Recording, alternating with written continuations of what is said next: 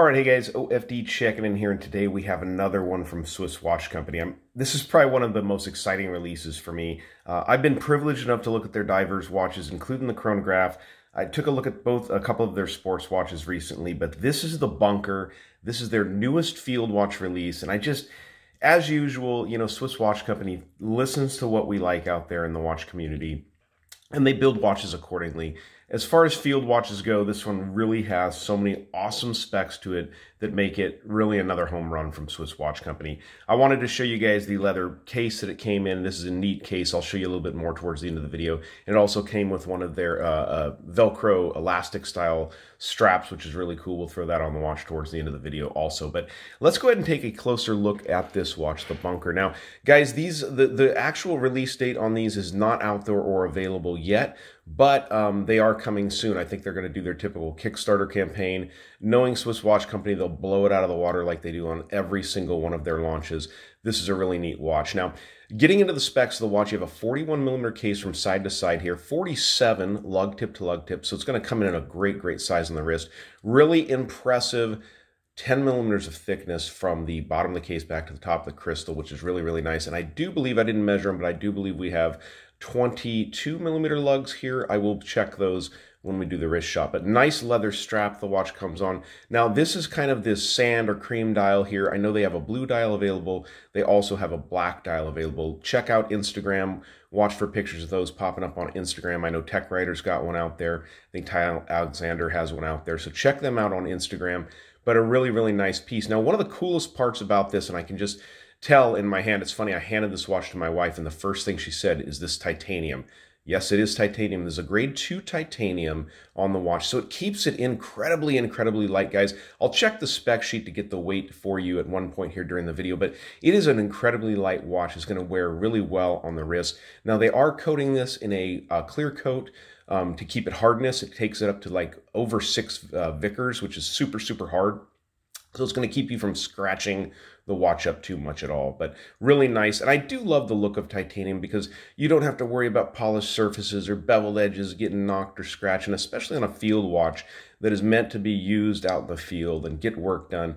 The titanium is a great look, very nice, clean look. You can see the nice shape of the lugs here on the watch, which I think is really nice. You can see it dives down, then you'll have this outside twist to the lug, which looks really, really nice.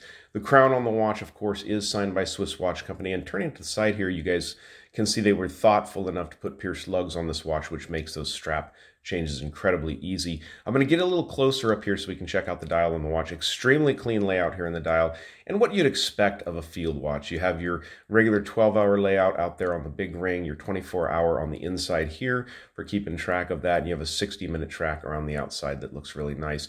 Now, you guys will notice we're hardly getting any reflection off of this flat sapphire crystal, which is pretty impressive because I've even not turned off my overhead light. I forgot to do that for the video, but I wanted to note that to you guys because they're using 16 layers of anti excuse me anti-reflective coating on this crystal here. So it's really impressive. And then they're actually putting a sapphire, I guess a shoot-on sapphire layer over the top of the AR coating to keep it from scratching. So it's really, really knocked down any um, reflection at all, to be honest with you, here in my office. I mean, I guess if I worked hard, I could make it get reflection, but that's pretty impressive.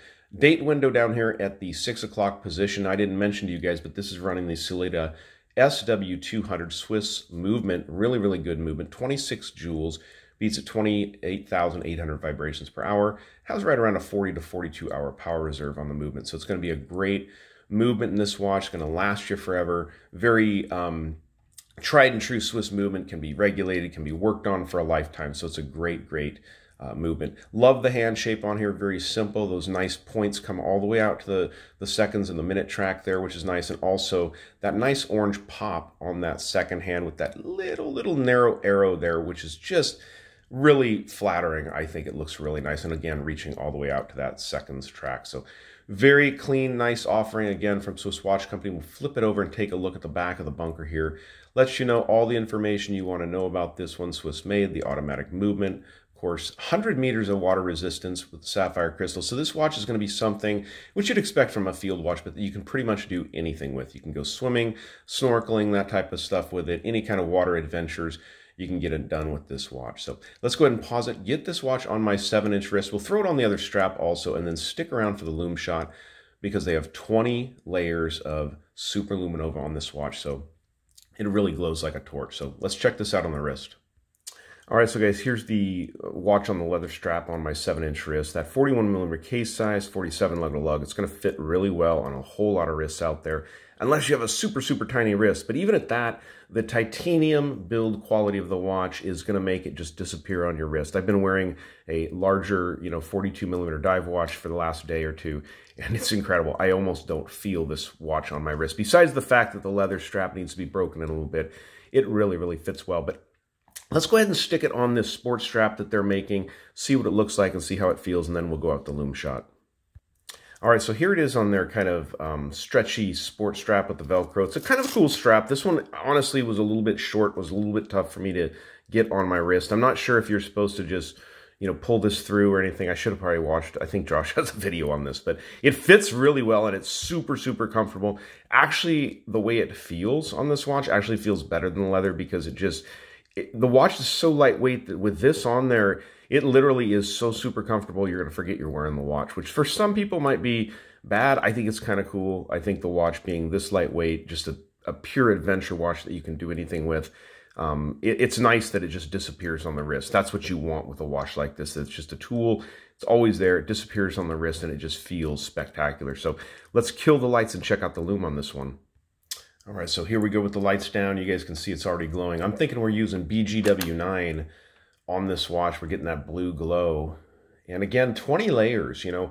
Um, SWC has never been shy about using lume on their watches. And really, with a field watch, that's a key point on a field watch, is you really want to have that lume there. And one of the things I wanted to point out is you don't have a lumed pip on that small arrow for the second hand, but look what they did. They put like almost like a little Seiko lollipop down there on the counterbalance for that second hand.